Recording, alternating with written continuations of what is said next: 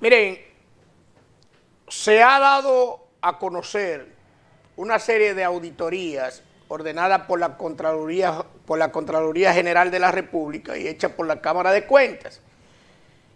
Estas auditorías arrojan irregularidades en varias instituciones, pero nosotros queremos enfocarnos en el, en el Ministerio Administrativo de la Presidencia que dirige José Paliza. Debemos decir que las irregularidades que se le atribuyen al Ministerio Administrativo de la Presidencia son irregularidades administrativas. ¿Qué significa esto? Significa que no necesariamente estas irregularidades pueden ser actos de corrupción. Es decir, constituyen estas irregularidades en violaciones a mandato que la ley establece, pero que pueden ser subsanables. Algo muy parecido a lo que ocurrió con Freddy Cruz en Cabarete.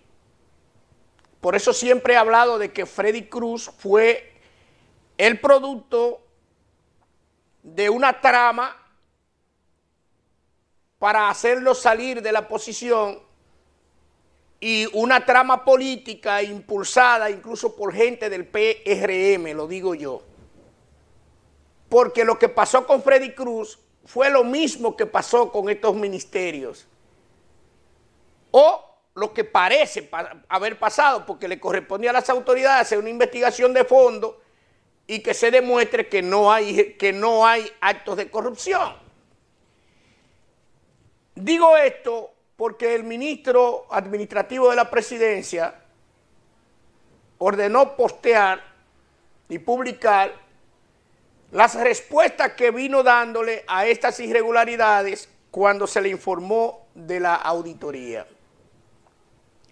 Y aunque, aunque no satisfizo en su totalidad mi persona esto, sin embargo, no tengo razones para dudarlo.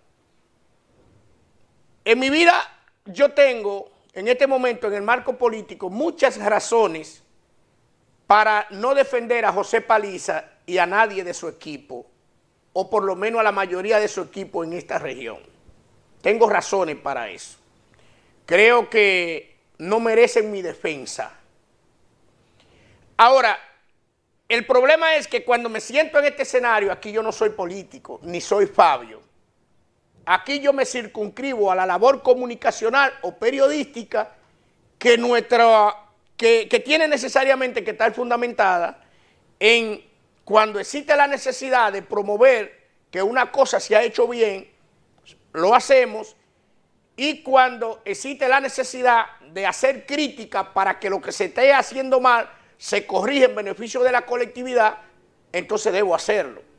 En este caso es imperativo para mí decirle a la opinión pública porque se trata de no solamente de un funcionario del que yo creo que en términos morales es un tipo correcto.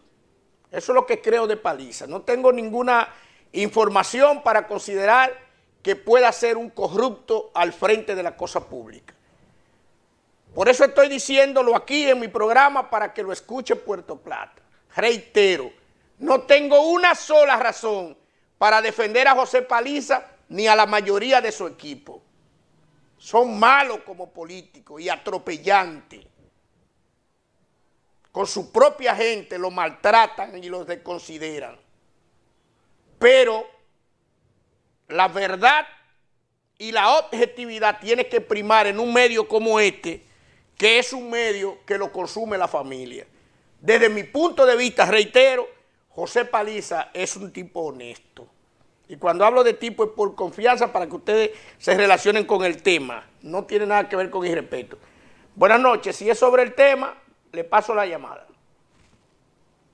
Buenas noches, Fabio Sí, adelante. Mire, Fabio, discúlpeme que voy a opinar sobre este tema. Mire, yo soy ciudadano común para mí, Ignacio Paliza es un hombre serio y trabajador, igual que Luis Abinader. Pero ellos mismos hacen una oposición. Dígame, dígame usted cómo está la mesa nosotros que andamos pasando los motores, cómo está los colmados, cómo energía eléctrica, cómo está oposición se la están haciendo ellos mismos. ¿eh? Muchas gracias feliz noche. Muchas gracias. Continuamos con el tema. Ya he dicho lo que creo de Paliza. Y la posibilidad de que sean subsanadas en todas las instituciones cuando se tratan de faltas administrativas. La República Dominicana, recuerdan ustedes, que entró en un proceso de legislación, de elaboración de leyes para garantizar mayor nivel de transparencia, fiscalización. Eso comenzó en los gobiernos de Leonel Fernández, la implementación de esas leyes. Y gracias a Dios más o menos se han ido sosteniendo, hubieron algunos entuertos en el gobierno de Danilo, pero el gobierno de Luis Abinader nadie puede negar que es un gobierno que comenzó eh, sancionando hasta su propia gente. Y esa parte positiva y además, si Luis, Abinader, no se ha ido totalmente de cabeza, es porque la gente le atribuye, entre otras cosas, esa parte luminosa de su gobierno, permitir que se persigan a corruptos, tratar de transparentar, es una parte positiva. Ahora bien, nosotros tenemos que decir también sobre el Ministerio Administrativo de la Presidencia y también formulándole al presidente de la República un llamado de que no podemos hablar de que no hay faltas. ¿eh? Lo que estamos diciendo es que las irregularidades son subsanables. Para hablar de faltas tenemos que hablar necesariamente de la UAI. ¿Qué es la UAI? La unidad de auditores internos que por ley la Contraloría General de la República tiene asignado en las instituciones del Estado eh, no financieras. Es decir, en los ministerios, en las direcciones generales, la ley manda que tiene que haber un auditor interno, que no, es, que no son los mismos auditores de la Cámara de Cuentas. Son auditores creados para el control, fiscalización y, buena aplicación de las disposiciones que la ley observa deben cumplirse para el buen manejo de los recursos públicos. Es decir, el problema de Paliza fueron cheques sin soporte, en parte, una buena parte. No se cumplió con el procedimiento.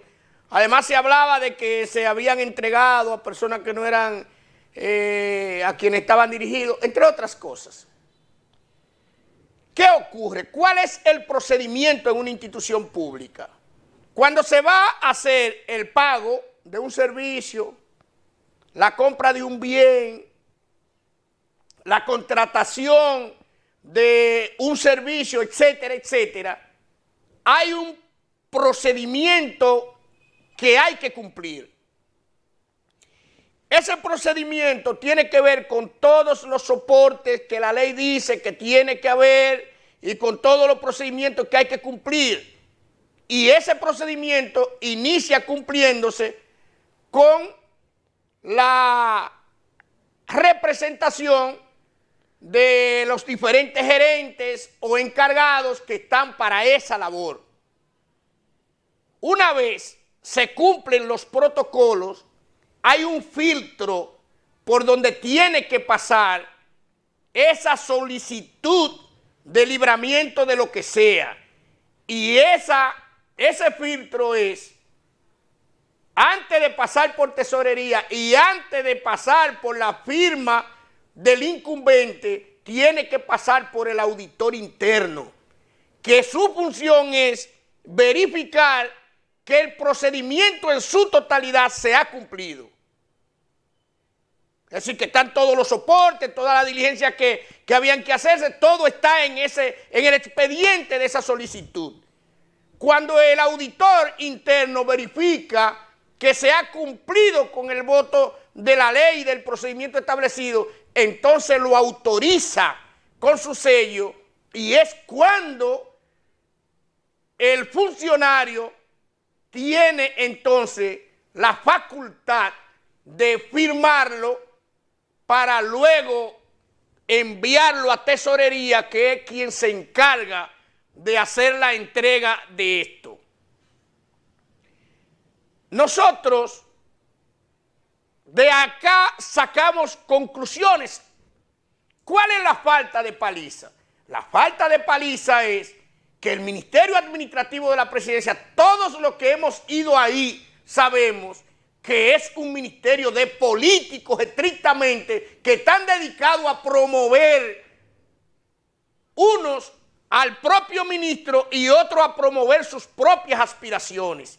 Entonces, cuando tú tienes a un grupo tan de confianza que está en las actividades políticas más que administrativas, entonces tú tienes problemas para cumplir con esto.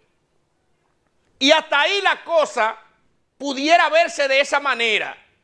Sin embargo, para mí el mayor responsable de todo esto y por lo que el presidente de la República debería pedir explicaciones y establecer sanciones si es necesario, la tiene la Contraloría General de la República, porque los auditores internos están bajo la dirección de ese organismo.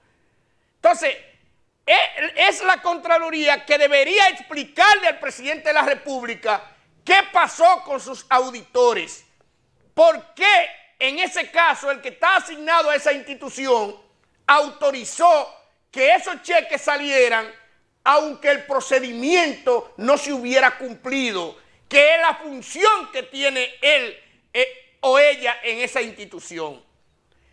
Y creo que el presidente de la República no se puede dar el lujo de que este tipo de escándalos salgan a la opinión pública porque han existido realmente y aunque sean faltas subsanables, por lo menos se puede decir que los funcionarios están distraídos y no están cumpliendo con sus obligaciones. Entonces, para un funcionario como Paliza, que siempre hemos dicho que es presidenciable, que puede llegar a ser presidente de la República, ese tipo de situaciones arrojan una mácula sobre el traje de él hacia la presidencia de la República.